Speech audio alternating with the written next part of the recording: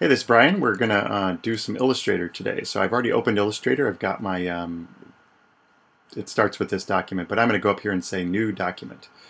There's many different ways to do things in Illustrator. Um, I'm just going to show you one of them. I've already selected Tabloid right here. So it says uh, 17 by 11, and I'm going to say OK. Black edge shows me the, the printed my document and over the, um, the boundaries. So first I'm going to get my um, I, uh, magnifier tool. If I hold down Option, I will minus, just so I can see the whole thing at once. Uh, what I usually do is I start off by making a square, and this you guys can do different ways, but I'll make a square, and it should snap to those document boundaries more or less. And that gives me a center point, and the reason now I want that is because I'm going to make another square that's my kind of boundaries, my visual boundaries, and, and click in the center with that square, I'm going to say 16 by 10. This should give me plenty of space around here just in case the printer doesn't print all the way to the edge. Next step I'm going to, um, where do I do that? Uh, view effect. Guides, make into a guide. So I do most everything by commands and so I'm trying to show you the menus because that's a little easier for the first time. So that won't print. That's just to help me line things up so I can move things around. I can um, snap to those corners. So this is going to kind of help me set up my document. Um, in this case, uh, let's, the heck, um, let's do some layers though first. Um, I think this is layers here. This may look different to you, but uh, let's click on this. We got layers. Um, I'm going to double click where it has the words and rename this to background. I'll just put back for short, fine. And then over here there's a little new page icon. I'm going to click on that. There's a new layer. Double click on that. And we'll call this art. And we'll do one more that's text. This is just the way I set it up. So it, whatever it's highlighted is where you're going to be doing your artwork. Um, right now I'm going to work in the background. And actually, let's go to art and we'll bring in our drawing. And um, you can do this by just dragging and dropping. I'll try it by doing place. So I go to my desktop where I got my image right here. And I can, if you link to the file, it won't actually include the file. It will, you, you'll have to make sure that this scan is with your document when you go to print it. So make sure that's not checked. You just want to embed it into the document and then say place. And there's my drawing, so that's a good start. Um, let's scoot that down somewhere. And this is going to be called the uh, Super Race Car or something rather. So next step is to grab my text tool. And actually I'm just going to click anywhere and start typing. We'll call this, uh, oops, I want my caps on. I can see the type is way too small, right? So um, I want this to be the headline. So I'm going to go up and find my text tool, which I don't see here. So I'll just go Command T for text. And that will give me a basic setup box here with the font name and the size and a few other details. And first let's go up to a larger size. So for headlines, 72 to 100 is probably a good size. Um, I was going to do that in caps, but Let's go to 100. And um, it won't update until you click out of that box. So um, you're getting there. Let's choose a bold font. And let's go ahead and change this uh, to uppercase. In this case, you could retype it, but there is a um, option to change the case into uppercase. There we go, eraser. Now I want something even bolder than that and cooler, so I'm going to click here and get a um, some sort of cool eraser looking font. Ooh, that looks nice and exciting. Um, in this case, the font is a little bit, that's probably good. I'll leave it as is. So now I want this to be, um, notice when I hover over it, it kind of highlights. So it's hard to type sometimes when you're typing because it highlights. And so it's a little hard to see. Racer.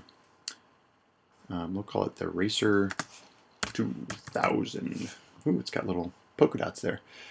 Um, usually my headline I don't want to be um, solid black, so I'll choose my colors. And this is showing me the, the headline color here. And I'll cut that down to like, let's say 30% gray or even less, let's say 20. I could type in there too. Uh, and sometimes I add like a little color cast depending on what I'm doing, but in this case, mm. the drawing itself had um, lots of blue in it, so I add a little bit of blue into the headline. Now, border treatments and stuff are personal style, but let's do, um, let me do something here for a minute. I'm going to do a color fade uh, for the top and then a color fade up for the bottom just for fun. So I've drawn a box. Um, next step is I want gradients, which I'm not sure. Here it is. And I'll choose this and it changed this to a gradient. Now a lot of these boxes in the beginner mode don't have all of your options. So if you click, I think here, nope, let's do that again. If you click here, show options, I want to um, keep this as a linear, but I want to change the angle to 90 degrees. And um, let's see what we've got. Yeah, that's where I want it to go. And whenever you go from black to white, it looks a little cheesy. I want to um, I want to change the colors. Sorry, so I'll click on the black, and this brings me to my color dialog box. And I gotta say, this is a little lame because um, what I want is COINK colors, and it doesn't show you that if you're in black. And also, it's a little confused right now because it's talking about that this is filled with a gradient, but meanwhile, I just want to change part of the color. So see when I click on a color, the whole thing changes again. So let me go back to gradient. Uh, where did we go? Pink. Because really what I want is, I want to just change this color and I want to go to CYMK and I want to cut that down too and I'll get this a lot more blue. And I've also lost my 90 degrees. And again this won't update until I click on something so that's good. Now there's a couple there's a problem here because it's being um, it's covering over my drawing. So I'm gonna go grab my arrow tool and it's covering over my type as well. And go back to my layers, and I'm going to move this down to my background. So I've got this now so far. So, but now my, my uh, drawing's got this white background around it, so what am I going to do about that? Well, there's a couple options there too, but one thing I could do is I could go under the transparency option and make this car just multiply. So now that lays on top of that. But that color will come through and it's a little hard to see here, so I could probably get away with just this. But let's make this a little bit longer by stretching this out. And you can see it's also put a, um, a kind of a tone over the whole car because now the car is almost like it was printed on tracing paper. So, well, I could do a couple different things. I find the easiest thing to do is to draw a shape layer that's going to sit between these two things. And that's going to be filled with white. So I'm going to use my pencil tool over here. And I can draw shapes. and it doesn't have to be super exact. I actually want to stay on the inside of my lines because I don't want to see any of this poking through. Um, and I can go back and adjust this. Um, so for example, if I just connected this right now. Let's, let's see what this looks like. So right now, if I go over here, it says this shape is filled with nothing and stroked with nothing. But I want to fill it with something. So over my color palette, I will choose white. And it just so happens that because this uh, shape is in the background layer and my art is in this layer, it's already behind this object, so that's good. And you can kind of see the difference. Here, I'll click off of it, zoom in here. So you can see where the white shape is and where it wasn't. So let me go and finish cleaning this up. So I'm going to click on it, use my pencil tool again, and I will start in an area where the line was. Well, and sometimes I run out of room. Ah, I went out of line a little bit, but that's okay. And then I come back somewhere to the line is and kind of blend in, and that will follow in here. Now this part doesn't really matter so much since it's just white, but maybe I'll go ahead and do it just in case.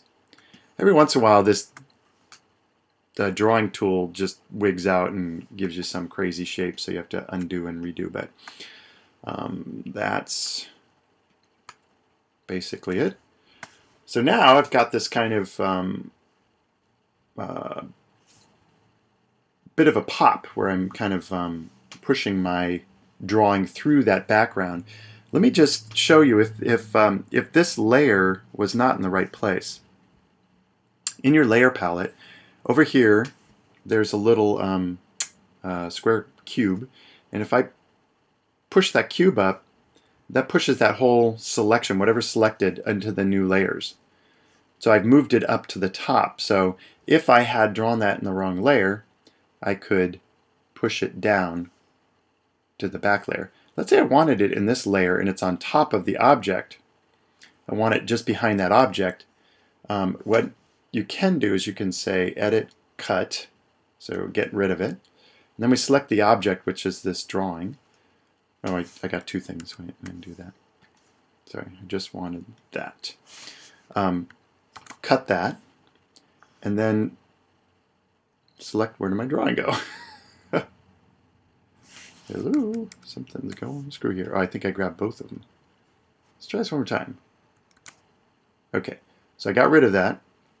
If I select my object, I can say paste in front, and that's the scenario I was trying to say if you drew this and it was on top. Um, so let's do it again. We'll cut, edit, cut, and this time we'll select, this is actually the drawing, the border, and I'll say paste in back. Okay, now my text is um, on top of this blue, and I could actually, it's not bad to leave it in gray, but I could, at this point, maybe change it to white. Oops. Actually, that's kind of cool too. I'm to leave a little bit of blue in there because I like that. Um, now, maybe I want this um, fade to do something different. I could do two things. One, I'll just select it first, and depending on how your Illustrator set up, a lot of times your selection will remain, or your new artwork will remain uh, painted with the whatever you last selected. So I just selected that to basically suck up that pattern, and then I've done this. Excuse me, hold on. Now I want it flipped over though, so I'm going to go back to my reflection. I'm going to have my uh, gradient, click that, and in this case, I'm going to say negative 90 and hit return. And that will flip that over. So now it kind of fades into white and fades back out. And maybe that's a little too much. So I'm going to select this color. And I want it I want this color to be lighter, but if I just move the blue down, it just becomes more gray. If I hold the black down, it becomes more blue. If I hold down shift and grab one of these, it'll move them both at the same time. So I want this to be really subtle, so that looks good. And there's the beginning of my layout. Um, let's say I want a kid. Oh, let's let's zoom in here real quick and show you the difference. Right there, my white came out of the boundaries. So I'll select that, use my pencil tool, and clean that up by going on the inside of the line. And like I said, I don't mind if the blue comes into my drawing a little bit. No, that's too much. Um, that will look better than a if my white went on the outside. You could see the difference. That's less distracting than that. So let's get rid of that just by redrawing that. and now if I wanted to resize these, I can drag across both of those. So now I've got my drawing and my white shape there. And to make things simpler, I'll group those. So I go to Object and Group. So now those behave as one, and this is the Resize tool. Um, click somewhere to show your point of origin, and then if I just start dragging, I'll get um, stretched. So I have to drag. The best thing is to drag a 45 degree angle from the point you chose. Drag and hold down shift, and that constrains it to the actual um, size. So let's let's go real dramatic here. Let's go up and even cover a little bit of the words. So Racer 2000, I want the 2000 to be behind that. And in this case, I set up my layers. Um, I'm not sure what layer that's on. Oh, that's in the art. Okay, so that's right. Uh, some, if that was on the text layer, I'd have to move it down to art. But I would just want it behind this, so I'm going to do that same technique by cutting. I'll select this whole group now. Say edit, paste in back of what I've just selected, and there my text is behind it.